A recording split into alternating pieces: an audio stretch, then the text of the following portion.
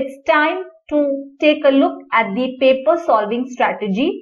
How will you attempt to solve this ICSE class 9 biology paper? What would be your strategy for solving the different typology of questions?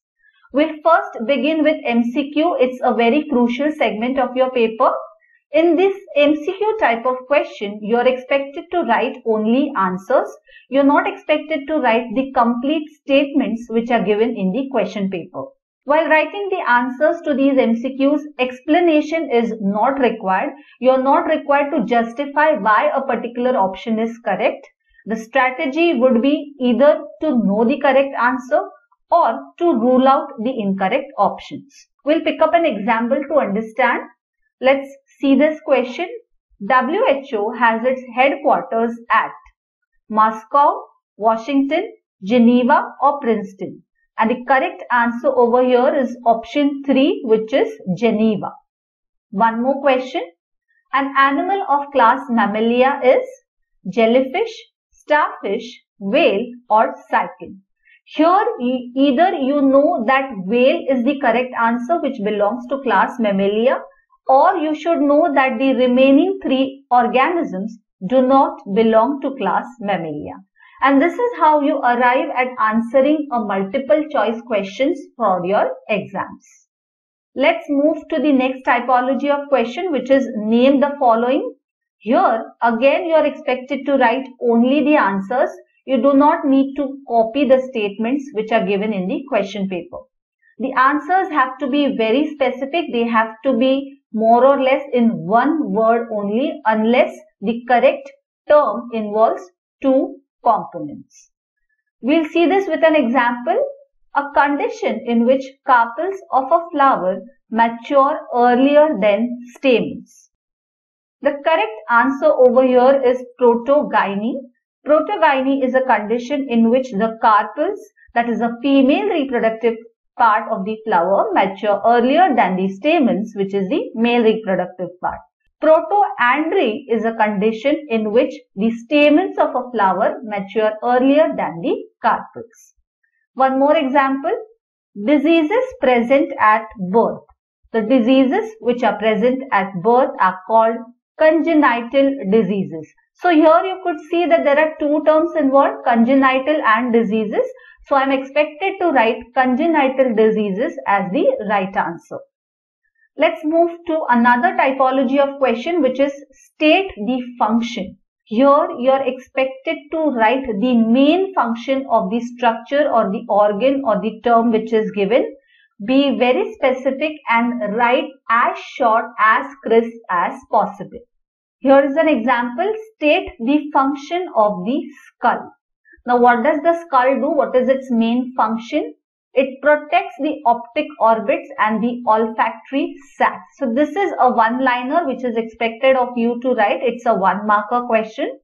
Another example, state the function of pectoral girdle. The pectoral girdle provides support to the anterior portion of the body. So you must have seen how specific I have written for this two organs. For skull, I have written its main function. Similarly, for pectoral girdle. Let's move to another typology of question, the objective type. State odd one out or write true or false. In both these typology of questions, you are expected to write only the correct answer. No explanation is required unless the question demands so. For example, here find the odd one out and mention the category for the rest. Here the question demands you to find the odd term and also explain why it is the odd one out. So in this given example, our odd term is centrosome. And now why it is the term? It's because it is an organelle which is present in only animal cell. Rest of the organelles that is cell wall, plastids and ribosomes are present in plant cells whereas centrosome is absent in plant cell and that is why it is the odd term over here. One more example with respect to now true or false. Here the question states that you have to write whether the statement is true or false and if it is a false statement you have to correct and rewrite it. Okay. the question is DDT is a biodegradable waste. Here the correct answer is false. It's because DDT is a non-biodegradable waste. So here in both these type of questions, you were required, you were asked to write the explanation for the respective questions and that is where you need to mention or need to write the explanation for your answer. Otherwise, you are not expected to give any kind of explanation in your paper. Let's move to another typology of questions. Match the columns. A very easy type of question provided you are through with the answers. In these type of questions, only answer is not expected. A complete table is required with your answers in column B. Here's an example. Here column A gives the list of antibiotics.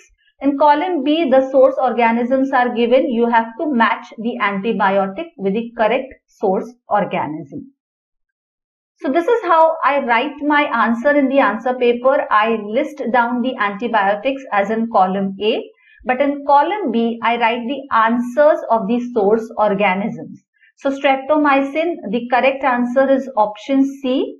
Streptomyces griseus, chlorotetracycline Streptomyces aureofaciens, penicillin penicillium chrysogenum, bacitracin bacillus subtilis, and erythromycin streptomyces erythraeus. So this is how your answer should look in the answer paper. Yet another question types the explain or define or give reasons or answer briefly. In all these four typology of questions, you are expected to write your answer in a specific manner. Whatever definition you give or whatever answers or points you write down, they have to be textbook oriented. Your textbook language should reflect in your answers. You are expected to underline the keywords so that your answer highlights the key points in your paper. Let's solve one question. How are villi adapted for absorption of food? Here's the answer. The villi have large surface area which enables absorption of food. They also have an epithelial lining with a network of capillaries and lacteals. So here I have underlined two points, large surface area and network of capillaries and lacteals, which stands out and correctly answers my question, how are villi adapted for absorption of food? One more question, Give reason a bat can fly yet it is not a bird. So you are expected to write the characteristics of a bird and a bat and you have to state why a bat is a mammal and not a bird. So bat is a mammal, it is viviparous because it has mammary glands also and it has external ears and a body covered with hair. Birds on the other hand are oviparous, they lay eggs and their body is covered with feathers. So you can see that bats, although they can fly, they have characteristics which are significant of mammals and not birds. And that is why a bat is a mammal and not a bird. So here I have underlined the key points which correctly bring out why a bat can fly. It is a mammal and not a bird. So this is how your final answers should look in your answer paper while answering the explain, define, give reasons and answer briefly type of questions. Let's move to yet another question type which is difference between a very crucial question in your question paper. You are definitely going to be asked around 2 to 3 these type of questions. So in difference between minimum 2 points per term are required and the points have to be relevant and to the point add more points basis the marks. Okay. So here's a question. State two differences between cartilaginous fishes and bony fishes. My question itself states that I have to write two points of differences each for cartilaginous and bony fishes. So this is how my answer looks in the answer paper.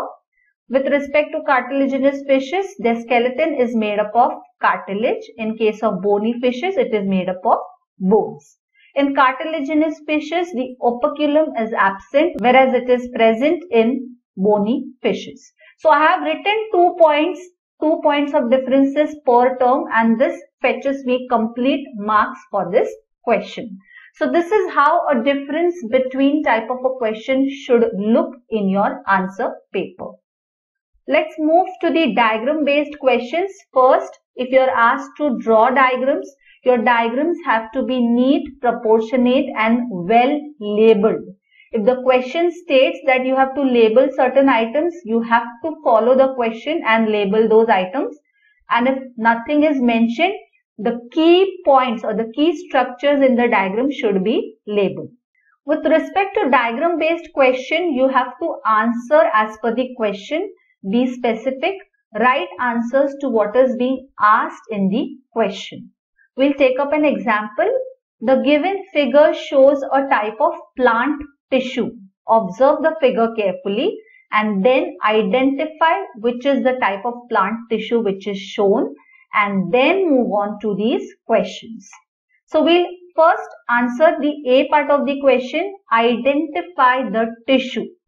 The tissue which is shown in the given diagram is parenchyma tissue. Okay, you have identified certain characteristics in the given tissue and that is how we have arrived at the answer as parenchyma tissue.